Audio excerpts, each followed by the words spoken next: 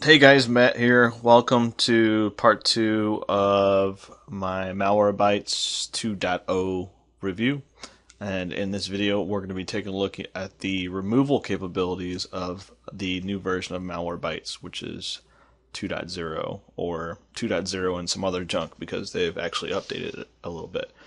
So I have a computer here that is um, really infected with a lot of adware. It's got some type of virus called a postal. Um, I just loaded that, and it's got a few other viruses on here. Um, I loaded like five viruses total um, that I received via email. So who knows what's going on here? Um, it's very slow, and a lot of the times there will be a window. Let me see if I can trigger it that pops up and just puts this whole Internet Explorer session into full screen. So as you can see, when I open up my browser, it goes to Conduit. Um, it's got a big old, you know, ad down here saying, you know, download some crappy piece of software. My drivers are out of date. Just you know, a bunch of adware. So, so um, yeah, it's kind of funny. What I wanted to show you is when that um, pop up comes up and I, everything just goes full screen. It's really annoying, but I guess it's not going to happen. I've closed it like four times while I was getting ready for this, but let's go ahead and close that. So what we want to do in this video is uh, see how how well Malwarebytes removes this adware, these viruses and things like that. We want to get this PC as close to clean as possible, and the way we're going to measure that is do a full scan with Malwarebytes 2 remove anything it finds, and then we'll follow it up with a scan, um, like a Kaspersky rescue disk scan, and see. We'll get a second opinion, see if Kaspersky missed anything. So, I've actually downloaded it just a second ago. It's the latest version, 2.0.1.1004. And we'll just go and run it.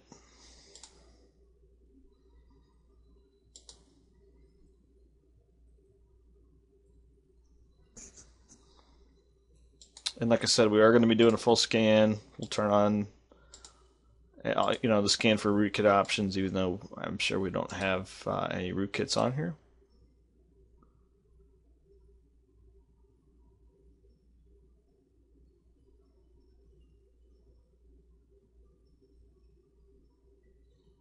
Um, am I going to enable a free trial? Sure. We'll treat this as a free trial deal.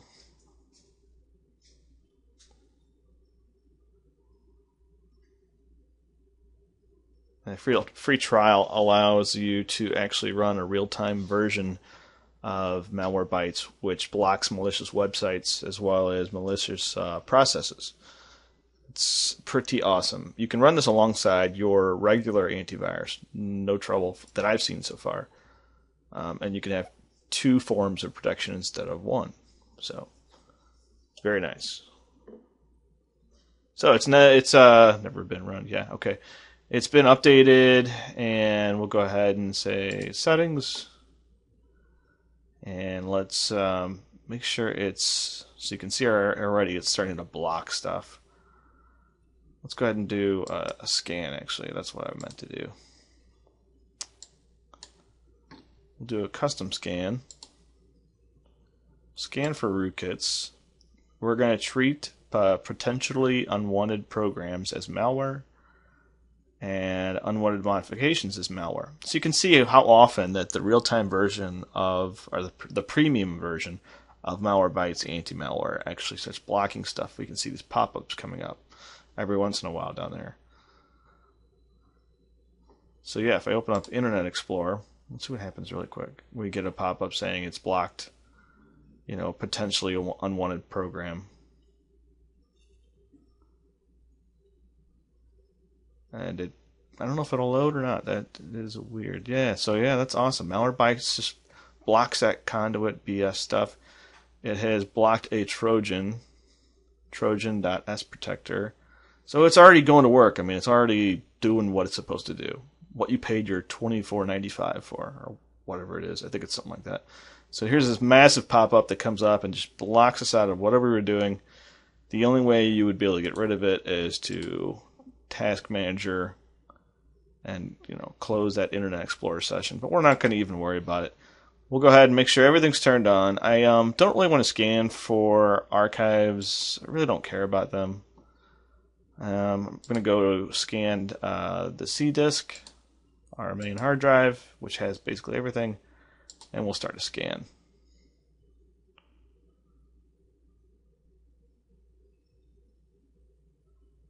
Alright, that's going to take quite a while, I'm thinking, so I'll pause this and I'll be right back. So, just real quick here, um, you can see without Malwarebytes, Malwarebytes, if I could say that right for once tonight, how often your computer tries to get to something on the net, tries to, you know, communicate with like a command and control server or, um, you know, send out spam, attack other computers on the net. When your computer is infected, it's constantly communicating on the net, and um, you can see Malwarebytes constantly blocking stuff. Um, just a second ago, before I opened my big mouth, uh, there was a red box popping up nonstop. Uh, but of course, as soon as I go to talk about it, now it's not going to. It's really annoying. Okay, there it is. That's one of them. So, but this stuff has been popping up just nonstop while I've been scanning. So it's pretty wild. Sit here and look at it for a second.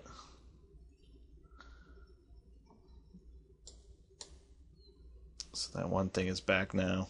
So my screen is completely taken up by this really bad ad. I have no idea the purpose of it.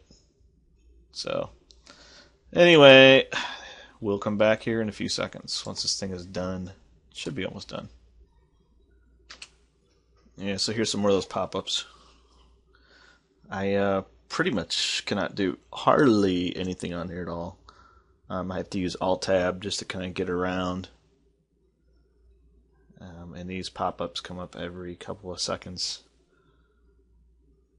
So, it's crazy. Well, it has taken forever and it's still going. Um, it's actually stuck. It's stuck on um, some kind of uh, Windows, WinStore, I don't know, some kind of metadata package.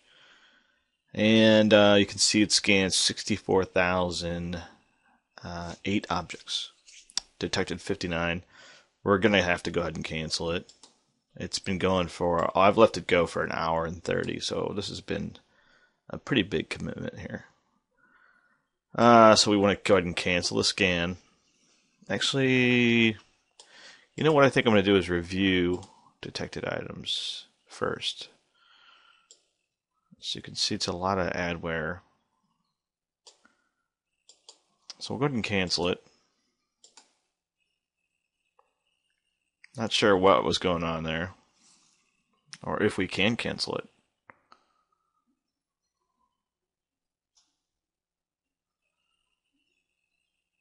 Looks like it's stuck.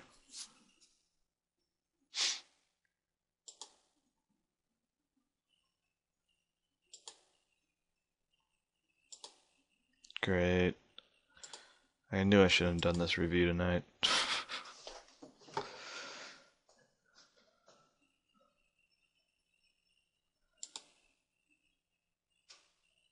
well, not much I can really say right now. This sucks.